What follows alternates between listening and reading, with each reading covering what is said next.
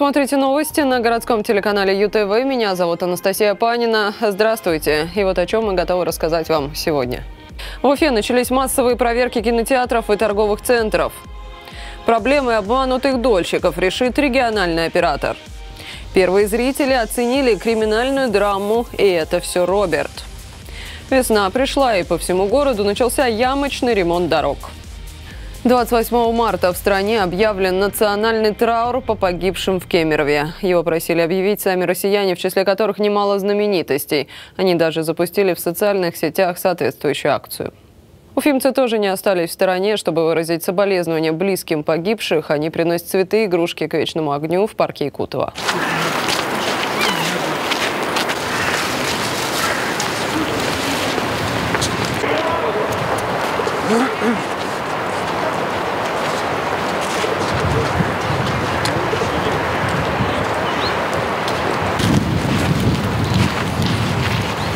Кемерово я полететь не могу, но боль вот эту хотелось разделить. Когда горе общее, ею делишься, оно действительно, говорят, легче становится. Легче не стало. Такая трагедия сама мама.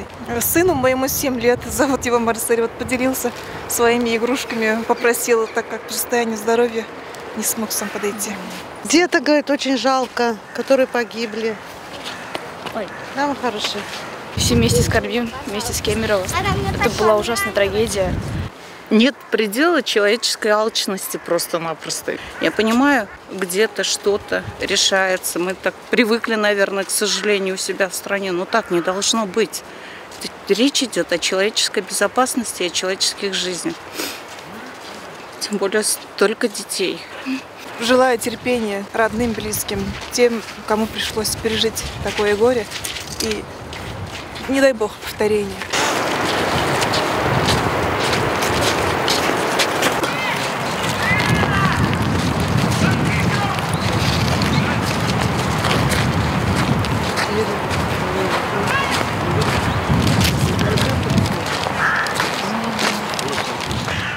Никаких сигналов тревоги и запертые двери. После трагедии по всей стране начались проверки мест массового скопления людей.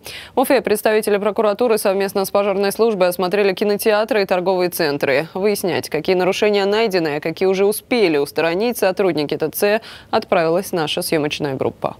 У вас двухсторонние двери есть по проекту. Вы один дверь заложили, ну, закрыли, заблокировали торговый павильон. Надо будет его убрать. Проверяющие только пришли и сразу же первое нарушение, причем на главном входе торгового центра. В случае ЧП такой дверью воспользоваться не получится, но это не единственное, на что обратил внимание пожарный инспектор. Второй выход закрывается на электромагнитный ключ. Они в случае с работы пожарной сигнализации откроются у нас?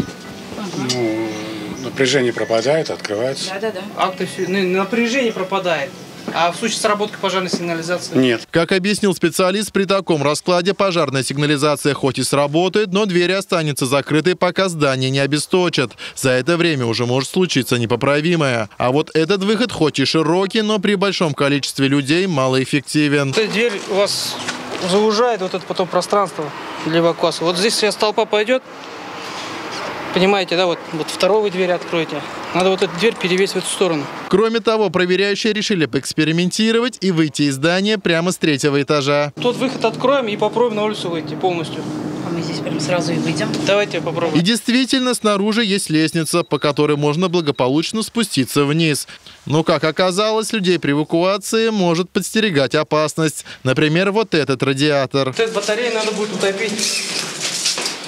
Или же поднять от уровня пола на 2 метра 20 сантиметров. У нас получается метр пятьдесят. Объясняю почему. В случае эвакуации людей, люди могут головой сюда удариться. Инспекторы проверили и средства тушения пожара. Здесь все оказалось в порядке, если, конечно, не обращать внимания на свежую пломбу пожарного шкафа и новые огнетушители. Значит, намотаны все правильно. Огнетушители они все новые, с 17 года. Да, все огнетушители у нас новые. Нет, это купили недавно приобрели. Также проверяющие обратили внимание на то, что планы эвакуации, размещенные в торговом центре, либо не по ГОСТу, либо неправильно ориентированы. В случае задымления смотрим на план эвакуации. Ну, мы знаем, да. да. Вы понимаете, да. Если у нас план эвакуации находится, Он значит, так, справа, должен быть вверху, значит, да? я должен знать, что ага, у меня с левой стороны, значит, эвакуационный выход есть. А в данной ситуации у вас вот, вот мы находимся, точка, да? Мы направо повернем, здесь должно быть зал, а у нас тут стена. Но правильный план все же нашелся. Видимо, кому-то повезет. Вот единственный нормальный сориентир. Там, там еще тоже есть. По всем выявленным нарушениям немедленно должны принять меры. Таково распоряжение Генпрокуратуры, причем в отношении всех торговых центров города. А Ирик Елалов, в свою очередь, предложил после окончания проверок провести еще и тренировки по эвакуации. Только не надо мне эти показушные тренировки, когда вы проводите 8-9 утра, когда никого нет. Вот самый час пик, когда забит торговый центр, тогда и надо проводить эвакуацию. Также мэр напомнил об ответственности руководителей торговых центров и социальных объектов. Администрация города будет подавать на вас э, прокуратуру и суд. Никого в этом плане в целях безопасности, значит, соблюдения безопасности мы жалеть не будем. Никого, включая наши социальные объекты, городские дворцы культуры, школы, Будем надеяться, столь страшная трагедия не повторится, а после всех этих мероприятий ответственные лица не просто предоставят отчеты о проделанной работе, а действительно устранят нарушения, тем самым сохранив жизнь и здоровье не только горожанам, но и в первую очередь себе и своим близким. Рустам Нурешев, Андрей Шарыгин, городской телеканал ЮТВ. Дело уфимских дольщиков, видимо, сдвинулось с мертвой точки. В Кировском суде столицы на скамье подсудимых оказались председатель ЖСК «Дуслык-строй» и директор одной из уфимских компаний. Сообщники продали квартиры в строящемся доме и сбежали на Кипр. Долгострой находится на перекрестке Кирова и Пархоменко. На 65 квартир они заключили 99 договоров. Имущество мошенников суд оценил в 347 миллионов рублей и наложил арест. Приговор – 4 года колонии общего режима. А вот решать проблемы всех обманутых дольщиков Башкирии теперь будет региональный оператор. Он создан по поручению главы республики. Региональный оператор – это ведомство, которое будет создавать паспорта проблемных объектов, рассчитывать необходимую сумму для завершения строительства, работать со страховыми компаниями по возмещению выплат, а также помогать пострадавшим. Мы будем оказывать содействие таким гражданам, будем подсказывать, по какому пути идти, э, чтобы правильно и грамотно в дальнейшем предпринимать свои шаги. Мы, как Госкомитет, как правительство, видим задачу, чтобы наш рекоператор, он именно а, анализировал ситуацию до конца. То есть понимал как бы наихудший вариант развития событий. Б. Полностью собирал все исходные данные.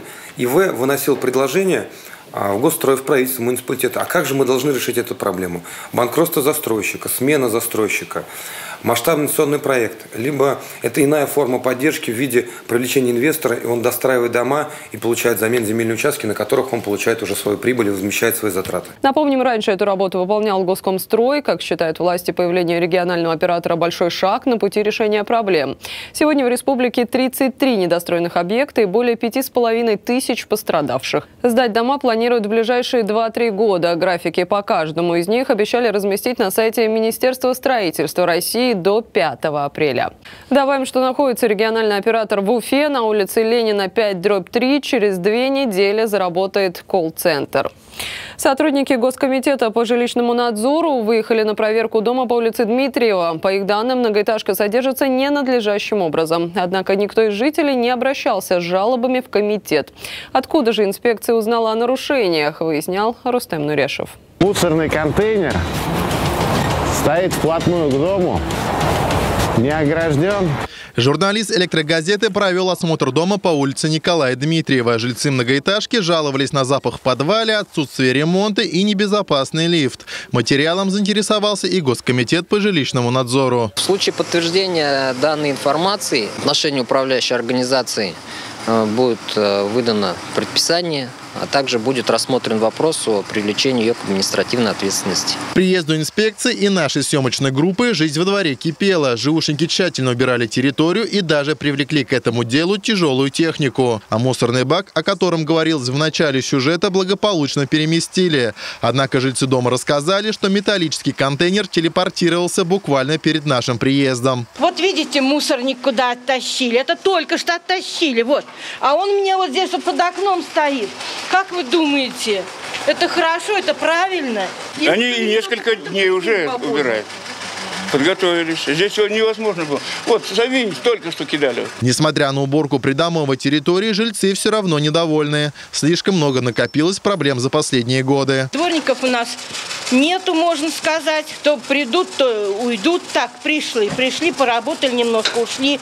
Двор плохо убирается. Уже много лет из подвала запах нечистот. Да, да. Начиная с оттепели и до поздней осени комары му- замучили всех комары. Отсюда бывает ужасный запах. Сейчас, может быть, зима или что. Ну, вот как интересно, прям как нарочно, никакого запаха пока нет. Сотрудники госкомитета в присутствии представителей ЖЭО и управляющей компании отправились на осмотр дома. В плохом состоянии действительно оказались как стены подъезда, так и лифт. Директор ЖЭО обещал, что его заменят, как только подойдет очередь. Данный дом стоит на капитальный ремонт по замене лифтового оборудования. А, Сейчас затрудняюсь, но он есть в списке, то есть на замену лифтового оборудования. А, Либо 18, либо 19 год. Зато как только комиссия поднялась на несколько этажей выше, все почувствовали запах свежей краски. Невооруженным глазом видно, что здесь недавно освежили потолок и стены. Но всего несколько недель назад они выглядели по-другому. Это, как нам сказали, тут последствия пожара. Конструкции не пострадали, потому что что-то везде все Закончив осматривать этажи, все дружно отправились в подвал. Удивительно, но сегодня здесь было сухо и ничего не благоухало. Хотя следы прорывов труб все же остались. А еще наше внимание привлекли вот эти трубы. Почему не заглушено? То есть здесь открыто, здесь открыто. Видимо, ремонт работы забыли. Сославшись на забывчивость своих подчиненных, директор сразу дал поручение закрыть недочеты. Также он отметил, что в подъезде ремонт планируется, но чтобы сделать его качественно, нужно поднять тариф на содержание дома. Сами понимаете, это же все за деньги делается. Проводилось э, собрание, то есть по повышению тарифа. На сегодняшний день там тариф содержания 18 рублей. Если пройдут собрание и единогласное решение будет хотя бы 67%, то мы этот ремонт произведем. К этому времени инспекция завершила проверку и не безрезультатно. Проведенной проверкой информация частично подтвердилась. В отношении управляющей организации будет выдано предписание на устранение этих нарушений. Только с начала года в Госкомитет поступило около четырех с половиной тысяч обращений от жителей республики. Основная часть жалоб – ненадлежащая работа управляющих компаний и плохое содержание дома. Но бывает, что люди не знают, куда сообщить о проблемах своего дома и поэтому прибегают к помощи средств массовой информации. Рустам Нурежев, Денис Селезнев, городской телеканал ЮТВ. Зато россияне смогут платить за услуги ЖКХ без управляющих компаний. Такой закон приняли депутаты Госдумы. То есть теперь на общем собрании жильцы могут принять решение заключить договоры на поставку воды, тепла и вывоз мусора напрямую с ресурсоснабжающими организациями. Чтобы избежать двойных квитанций об изменениях, нужно будет сообщить в Госжилнадзор. Ресурсники, в свою очередь, могут в одностороннем порядке расторгать договоры с управляющими компаниями при наличии большой задолженности. Закон будет вводиться поэтапно. Уфимцы увидели первые серии криминальной драмы, и это все Роберт, но это пока не премьера. Закрытые показы прошли для участников специально отобранных фокус-групп. Это новый формат для башкирской столицы. Что думают зрители, когда фильм выйдет на широкие экраны, расскажет Алина Гребешкова. В каждом человеке живет зверь. Мужчине, в женщине. И это все Роберт впервые на широком экране. Спецэффекты, каскадерские трюки, взрывы и погони. Главному герою, простому учителю, нужно спасти больную дочь. Это первый уфимский многосерийный фильм в жанре криминальной драмы. Увидеть четыре серии задолго до премьеры смогли более 150 человек. Очень э, ну, душевный фильм, по-моему, и э, физик постоянно изрекает какие-то интересные, мудрые мысли. Сюжет очень оригинальный. Впервые а, смотрел такой сериал с таким сюжетом. Неожиданно то, что именно в Уфе сняли такой фильм. Хочется сказать большое спасибо авторам сценария, всей команде, которая сняла такой замечательный, интересный, реалистичный фильм. Спасибо большое. Показ для фокус-группы – это мировая практика, чтобы узнать мнение независимой аудитории. Такие исследования в Уфе еще не проводились. После бесплатных просмотров зрители заполнили анкеты и высказали свои предложения. Притормози немного. Нас-то точно не зацепит. Я направленную антенну сделал. Над многосерийным фильмом работала большая команда. Это сотрудники городского телеканала ЮТВ и продакшн-студии Рияза Исхакова. Съемки проходили в Башкортостане, Исландии и, конечно, в Уфе.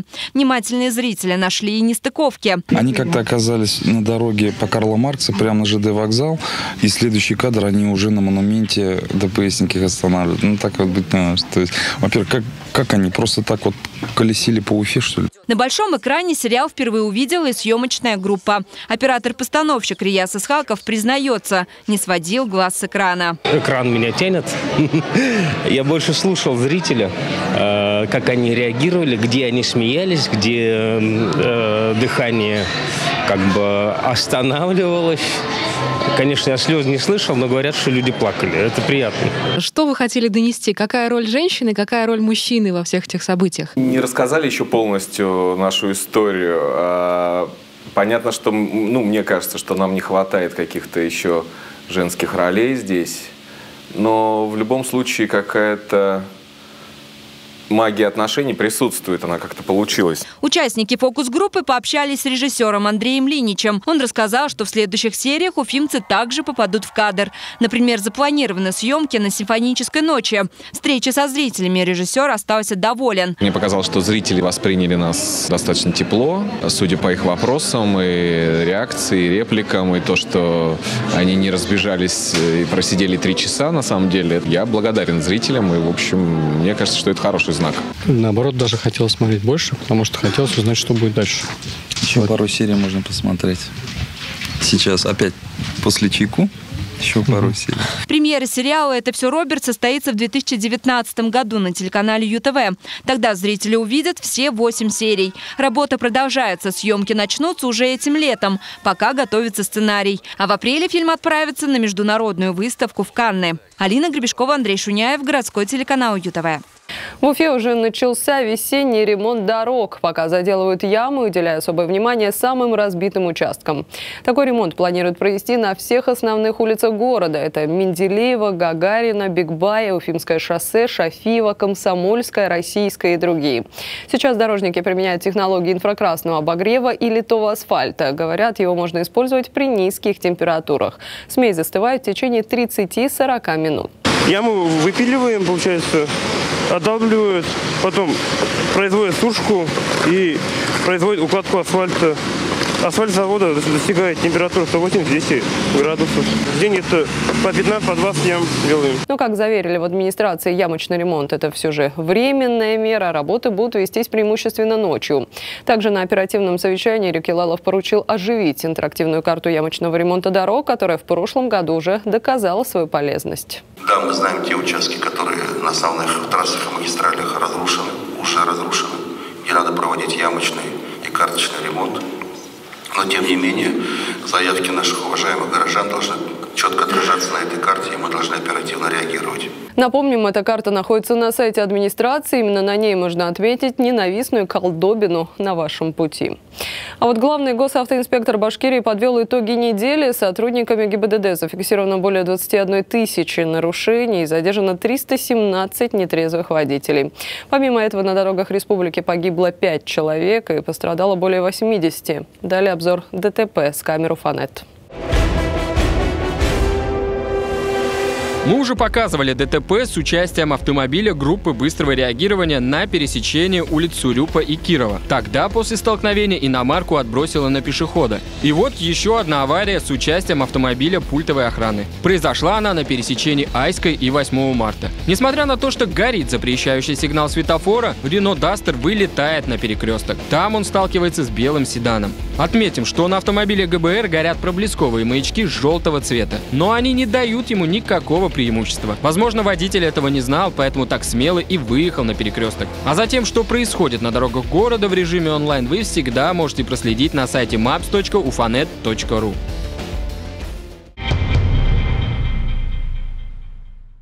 И о погоде синоптики решили нас немного успокоить и прогнозируют весну с температурой в пределах нормы. В апреле это 3-5 градусов выше нуля, в мае 10-14. Зато второй месяц весны может порадовать нас обильными осадками. Лето в этом году, кстати, тоже обещает жарким, но дождливым. Ну и сейчас о ближайшем будущем. 28 марта в Уфе, по данным Яндекс Погода, ночью минус 3, утром 2 градуса, днем 0 и к вечеру вновь около 3 ниже нуля. К тому же в среду в республику вновь вновь придет средиземноморский циклон. А это значит мокрый снег, дождь, порывистый ветер и гололед. Всего доброго и до встречи в эфире.